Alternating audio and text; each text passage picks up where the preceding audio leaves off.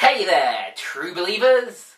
I'm Funky Monkey. Welcome to my House of Love. Subsequently, welcome to another episode of Isn't It Time?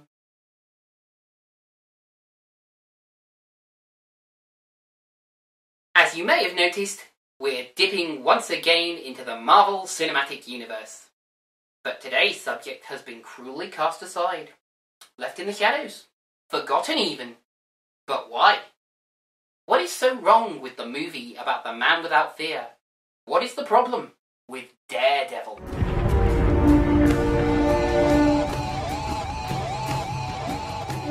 Released in 2003, Daredevil follows the titular crime fighter as he battles perennial Marvel villain the Kingpin with the aid of female warrior Elektra against the deadly accurate hitman Bullseye.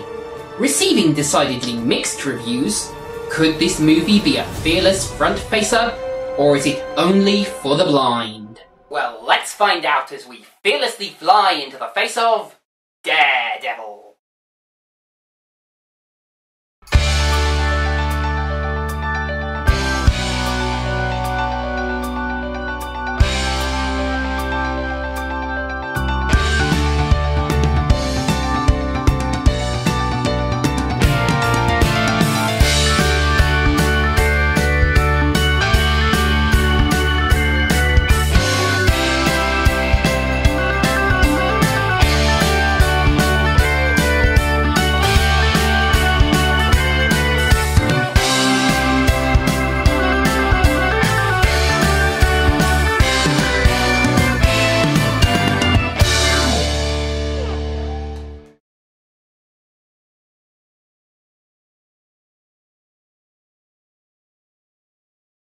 Boxer. A sports writer once The tale of Matt Murdock begins with his father Jack. Jack, the devil. Battling Jack was a boxer, earned himself a nickname, the Devil. A long time ago. Then he got in with gangsters. Dad? Then disaster struck, as young Mac was chemically blinded. Lucky for him, his remaining senses was greatly amplified, giving him a kinda sonar sense. Devil Jack went back to boxing, while Matt continued his studies. But he didn't know he never stopped working for the gangsters. Miller, Matt, Bendis, they're all my fighters. Turns out, Devil Jack wouldn't play the game.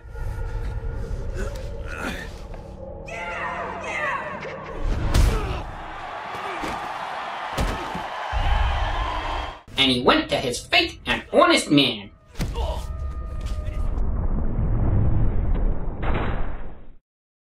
Ladies and gentlemen, excuse me. Ladies and gentlemen, a moment for Jack the Devil Murdock.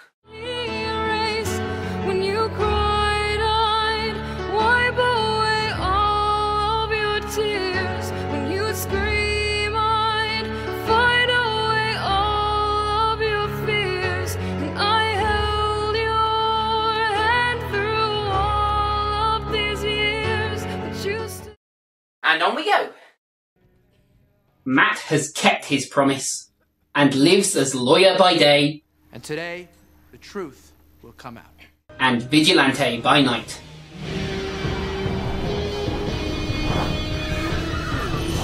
Now, just you hold your horses there, Mr. Matthew Murdock type fella. You're Daredevil, not Lemming Man. The story really picks up with the appearance of a mystery woman. Tell me. It's Jennifer Garner, lad. I'd leave well enough alone. Matt Murdock. Nice to meet you. I didn't get your name. I didn't give it. Matt, Matt, mate, mate, Matt, mate, no, just take it as a sign. Just take it as a sign and move on. She duels our hero for the honor of revealing her name. So does every guy have to go through all this just to find out your name? Try asking for my number. No.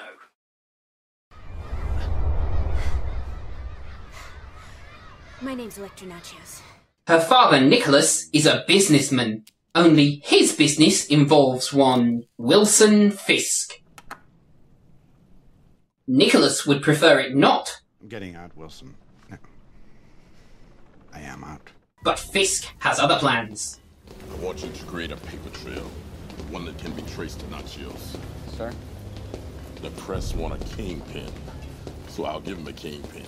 Plans that involve Bullseye, as portrayed here by Colin Farrell. Get me a computer for Christmas. Oh, we've all been there. Well, I haven't. I've been quite lucky on my infrequent plane trips not to have to sit next to the well-meaning but deathly dull old dear. acting.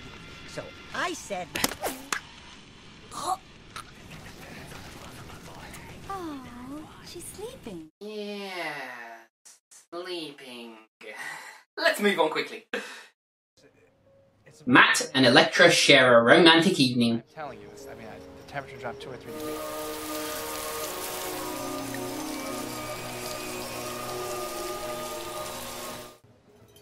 Matt and his friend Foggy Nelson attend an uptown party, Come on, might never get a chance like this again. Come on, let's go. but Fisk reveals his plan.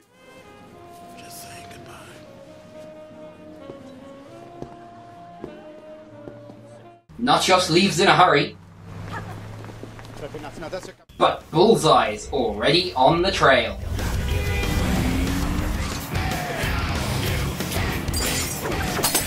And so, Bullseye and Daredevil square off.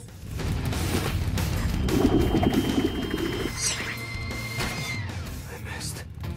I never miss. Drop something.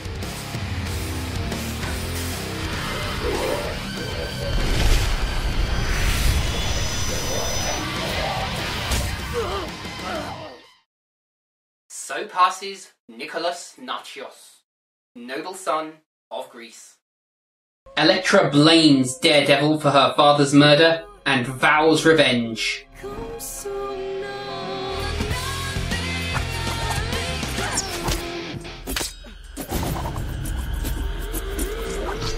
Which leads her to unwittingly stab her lover in the shoulder.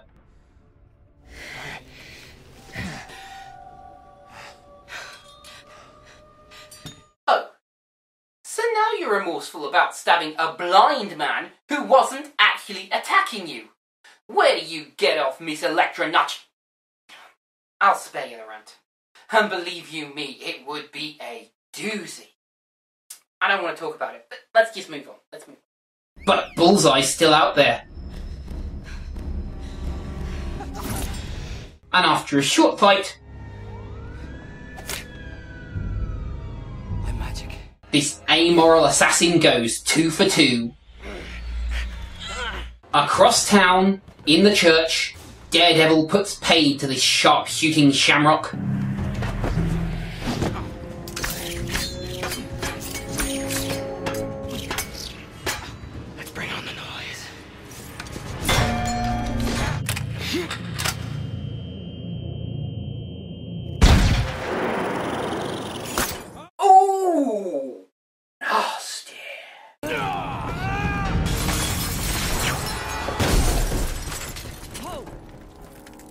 And so the stage is set for our finale. Daredevil faces the Kingpin and almost loses. But there's water in those pipes.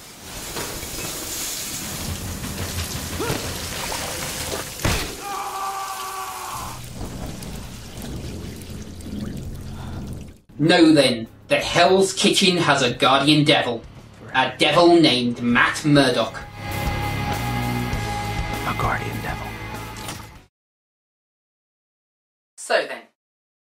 Time you gave Daredevil another chance? What can I say? A large portion of this movie works. The backstory's handled well. Affleck's Matt Murdock is at least passable and believable.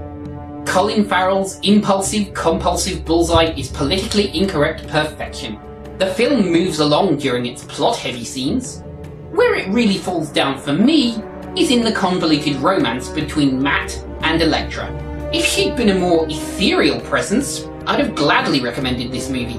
But even in a svelte hundred-ish minutes, the romance scenes, the funeral of Nicholas Natchios, It all serves to make the movie drag.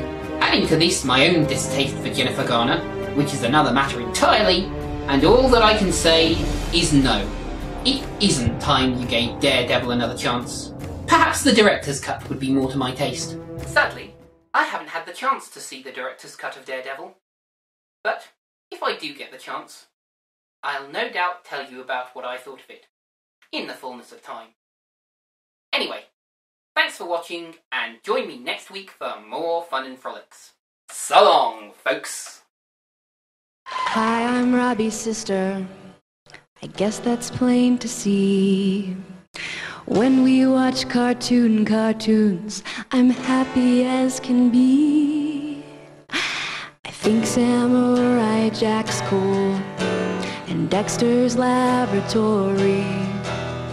I miss watching Powerpuff.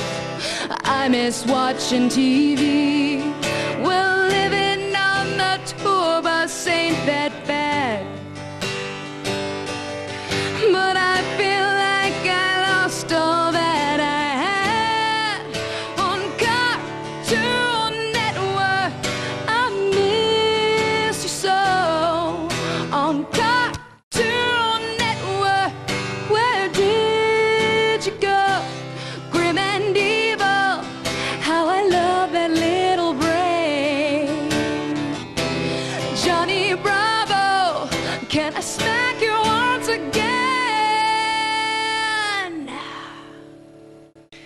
hope you've learned a lesson here. Treasure what you have.